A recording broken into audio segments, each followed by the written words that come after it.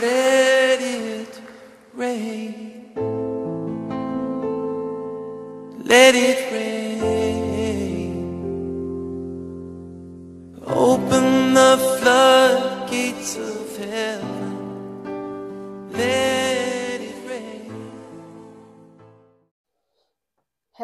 A very good day to you. My name is Sister Temi Tayo, and I'm here once again to share the Open Heavens Daily Devotional compiled by the General Overseer of the Redeemed Christian Church of God, Pastor E.A.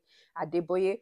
Now, if you're visiting my channel for the very first time, or if you know me personally, you may be asking why I'm sharing this particular Christian book, why not another one? The reason is because the Lord instructed me to share this particular devotional in 2020, and this is my fourth year of sharing. And all those videos from the Open Heavens from 2020 to date are all loaded on my YouTube channel. My handle on YouTube is Temi Aghedo, which is right on the screen. I will encourage you to visit my channel. And you know, if you, that's for to view the old Open Heavens videos and also for the daily Open Heavens devotional video of that particular day. And I know that as you listen, you'll be blessed in Jesus' name. And while you're on my channel, please do subscribe and God bless you mightily. Pastor Adeboye led me to Christ in October 1997, a few years back when I was an undergraduate in the University of Lagos. And what pastor does is that he will give you a few scriptures from the Bible, he'll give you a memory verse. And when you combine those two pieces of scripture, helps you to understand the body of the text and what the Spirit of God is saying to the reader of the daily devotional.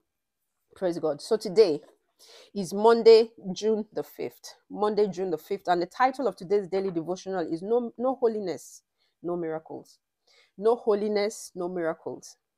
Praise God. So, and the, the scriptural reading is taken from the book of Ephesians, chapter 5, verses 1 to 5. Ephesians, chapter 5, verses 1 to 5. Um, I'm going to be reading from the traditional King James Version, but I also like to look at this in the New Living Translation. So, thus goes the reading of God's word, Ephesians, chapter 5, verses 1 to 5. Paul says, Be ye therefore followers of God as dear children and walk in love as Christ also had loved us and had given himself for us, an offering and a sacrifice to God for a sweet smelling savour. Verse 3 But fornication and all uncleanness or covetousness, let it not be once named among you as becometh saints, neither filthiness, nor foolish talking, nor jesting, which are not convenient, but rather giving of thanks. For this ye know that no whoremonger, no unclean person, no covetous man who is an idolater hath an inheritance in the kingdom of Christ and of God. Let me read it from the New Living Translation, the NLT. Ephesians 5 1 to 5. It says, Imitate God, therefore, in everything you do, because you are his dear children. Live a life filled with love, following the example of Christ. He loved us and offered himself as a sacrifice for us, a pleasing aroma to God. Verse 3 Let there be no sexual immorality, impurity, or greed among you. Such sins have no place among God's people. Obscene stories, foolish talk, and coarse jokes, they are not, these are not for you. Instead, let there be thankfulness to God. You can be sure that no immoral, impure, or greedy person will inherit the kingdom of Christ and of God. For a greedy person is an idolater, worshipping the things of this world. Praise God. It's quite clear. Now, um, Ephesians was written by Paul. Paul wrote about two thirds of the New Testament, and he was writing to the church at Ephesus, to the Christians in the church of Ephesus, and he was saying to them that they should imitate Christ in everything. We should imitate Christ. He's talking to everyone, you know. So there's no exception. There's no holy, holy. We all stand perfect and complete by God's grace, you know, and the extent to which we submit ourselves to the will of God. Amen. So he's saying that they should follow Christ, they should follow God. Not many people are followers of God. Judas, was he really following Christ? Nah, I don't think so. He was following the money, he wasn't following Christ. He says we should walk in love. And then in verse 3, which is where we're going, because uh, the title of today's daily devotional is No Holiness, No Miracles. He says, Let there be no sexual immorality, impurity, or greed among you such sins have no place amongst God's people. This is because amongst God's people, we have had people who have fallen into sexual immorality, either knowingly or unknowingly. Some are impure. They are doing, you know, it's because people we don't know in church, but there's some people who are impure. They practice dirty things, you know, watching dirty things, you know, watching pornography that can, you know, defile. And some people love money you know. And so Paul is saying that this thing should not be named among Christians.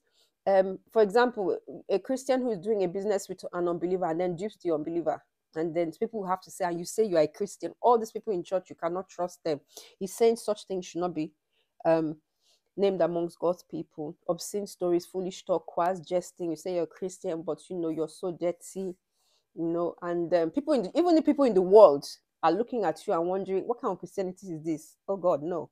You know, he's saying, don't forget that we should not all of us he's talking to every one of us whether you're the teacher you know whoever you are pastor deacon archbishop he's saying to us that you can be sure that no immoral impure or greedy person will inherit the kingdom of god of christ and of god no holiness no miracles the memory verse is taken from Second Corinthians 7, verses 1. 2 Corinthians 7, verse 1 it says, Having therefore these promises, therefore, beloved, let us cleanse ourselves from every filthiness of the flesh and of and the spirit, perfecting holiness in the fear of God.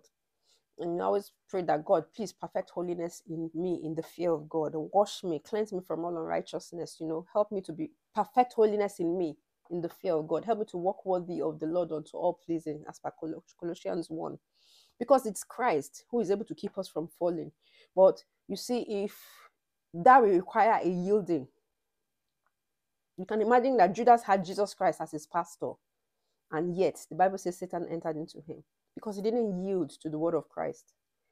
Having therefore these promises, dearly beloved, let us cleanse, let us cleanse ourselves from every filthiness of the flesh and of the spirit, perfecting holiness in the fear of God. So that means even the spirit can be filthy. So anyone who is not born again, that person's spirit is filthy, and the spirit can only be cleansed by salvation when you're washed in the blood of Jesus Christ. Okay. Now, Pastor says some people query God for not answering answering their prayers because they have been praying for so long, and this has made them conclude that God is not real. The problem, however, is not with him. After all, many other people receive answers to prayers from him daily. If there is a problem at all, it is likely to be from the fellow who is praying. Now, Isaiah 59, verse 1 to 2 tells us that God always hears us, but our sins separate and hide our faces from Him. If He doesn't hear your prayer at all, how is, going, how is He going to answer? And how can you continue in sin and expect grace to abound? The Bible's response is, to that is God forbid, as per Romans 6 1 to 2. So, um, the Bible says we should not make a habit of sin, you know. And what God has done is that He has made provision in the Word of God. You see, if you have clay feet, you're going to make mistakes. God is expecting that. He said, if you if you conceal your sin, you will not prosper. But if you confess it and forsake it, God will show us mercy. And sin is not only some people think, oh, you know, um, sin is only when you fornicate, which is bad, you know, and all those big, big sins. But you see, God wakes you up at 2 a.m. to pray and you turn your head away, the Bible says to him that not to do good, it is, and do it not to him, it is sin. You know, so, and we make mistakes every day. And so, because he's our father who art in heaven, we say, Heavenly Father, forgive us. But you see, people who have made a practice of sin, for example, you know that maybe living with somebody you're not married married to or having um extramarital affairs is is not good. You know, but you're like everybody, don't mind them, don't mind them, everybody's doing it. No, that is um an evil spirit. And Bible is saying to us, you can be sure that no immoral, impure, or greedy person will inherit the kingdom of Christ and of God. You're a soldier, you say you're a Christian, but you are collecting bribe and duping people, you know, on your job, you know, that, those kind of things. And you say you are a Christian. Some people tell people, oh, I'm a Christian, and be like, you really, you? But you are the one that is organizing all the bribe. These things ought not so to be. And Pastor is saying that some people are accusing God that God doesn't answer prayers. he does. But if you continue in sin, don't expect grace to abound. God forbid. You know, so sometimes the things you do can hinder God from. Saul kept, you know, when he disobeyed God, he kept ex- expecting God to answer him, but God didn't answer him. So when he was going to the Urim and the Turim, God didn't answer him. You know. So check yourself. We have to check ourselves. Praise the Lord. And some, you know, you know. So this is prayers sometimes cannot be uh, may not be answered. God will not answer you, not because you know, but because you're doing something wrong and you know and you refuse to repent. Some people sow in church and get no harvest. Then they turn around to say that God's word is not true. Whereas the issue may be that God rejected their offering because of their sins. Proverbs 15 8. He must first accept you before he can accept your offering. Some people have said, "Oh, I will never, I can never forgive that person," and then you come to church and you dance and you dance and you expect God to accept your offering.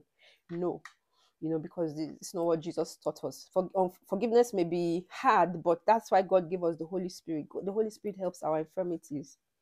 It's not easy for everybody, but it's not easy to love my enemies and bless those. It's not, it's not normal. But the Spirit of God helps because I know that if I don't forgive, it will hinder my prayers. So I then walk with the Holy Spirit. I then tell the Holy Spirit, that person really hurt me. Help me. And I know you said I should forgive. And I know if I don't forgive, my prayers will not be. Help me, Holy Spirit. That's why God sent the Holy Spirit.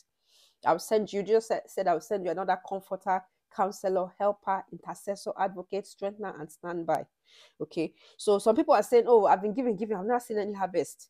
You know, all these things. This they are just using it to try and collect money. No. This something is wrong. So God must first accept you before he accepts your offering. Pastor is saying. Jesus Christ said, if you before you drop your offering, if you know that somebody you've sinned against somebody, drop your keep your offering first, go and apologize to that person, and come back and give your offering. Praise the Lord. The pastor gives a testimony. He says a lady attended one of our programs because she had heard that Pastor Adeboye has a special anointing for making the barren fruitful after praying for them. She met with me and I prayed for her. And while praying for her, I laid my hand upon her and she fell. And when she came around, she rejoiced that she had fallen under the anointing and was sure her miracle was on the way. A year later, she came back with a query because she had not given birth. I was already thinking that maybe God wanted to give her a second touch when all of a sudden I heard God say, Ask her how many boyfriends she she has. If I hadn't known the voice of God, I wouldn't have asked because she was a highly placed person in the society. I managed to ask her, and she said she had six boyfriends. I was shocked. How can you expect a baby from God when you are keeping six boyfriends apart from your husband? How would she have known the real father? And and you see, this is this is this level of um rascality. This is this rascality um in the body of Christ is practiced by people who think that the Almighty does not see and He does not hear because God is slow um to to to as some people slow to keep His promises as some people consider slackness. You know, you know they think that God He does not see. You know, He doesn't. He won't do anything. We'll just say, "Oh Lord, forgive us, forgive us." we'll go to church and give a big offering, and that will cover their, their sins. You know, even the woman at the well, of, the, the well at Samaria didn't have six boyfriends. You know, she she and she was married, six boyfriends you know but there's nothing hidden that will not be revealed. Nothing. And the, the bad thing about it is that this is why some people um because you see we're we're, we're, we're living epistles. We are read by men. So some people will know that she's going to church. Even pastor Adeboye laid, laid hands on her you know? And then she fell under the anointing. So it's not everybody that falls under the anointing that you know you consider spiritual you know? And sometimes they will lay hands on you and you will not fall and you'll be wondering ah, what's wrong with me? But look at this. So it was through a word of knowledge that pastor found out that she was and thank god she confessed you see because then god could be able to help her and get her out of that horrible situation she had put herself six boyfriends and had a husband that is rascality and it is not. God doesn't put a stamp of acceptability on our rascality. Many people want a miracle pastor says whereas what they are really asking for is magic and god is holy. He is a miracle worker not a magician like the devil.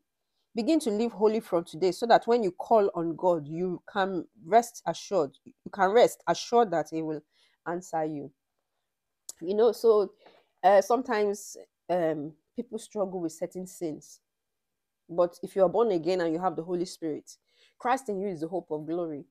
So you see the more um, we walk with the holy spirit you have a tendency to be, evil communication for example corrupts good morals. If you walk with people that um, smoke is that after a while you begin to smoke. But if you walk with the holy spirit who is holy you become like him. And the more of the Holy Spirit you have in you, the more ability you have to deal with this with your sins. All our weaknesses die in the presence of God. I remember when I got born again, I used to smoke. From the day that Pastor Adeboye led me to Christ, I stopped smoking that day. I didn't say a prayer. But there were other things in my life that I struggled with for many, many years until I began to understand that um, some things have built an altar that needed to be broken down Okay. So, but you see, the more I um submitted myself to the Holy Spirit, the weaker my weakness becomes. Amen. So then that's why we, we the Bible says, submit yourself to God, resist the devil, and he will flee. Praise God. So you have to keep yourself under the shadow of the Almighty, studying the Word of God, giving yourself continually, we give ourselves continually to prayer. Prayer is what destroys the works of the flesh and the Word of God. Amen. So, and know, keep in your know in your heart that you let God see that you want to be holy, and He will help you. Amen. Now, the prayer point is holiness. Is, the key point is that holiness is the master key to getting God's attention. Stay in God's presence. That's where all, all our weaknesses die. All weaknesses die in the presence of God. And it says holiness is the master key to getting God's attention. Remember that it's not everybody. Praise God. It says, Know ye this, that no whoremonger, unclean person, nor covetous man, who is an idolater, hath an inheritance in the kingdom of God. God will not be telling us if such things are not happening in, in church. Praise God. Let us pray. Heavenly Father, in the name of Jesus Christ, we thank you for your word.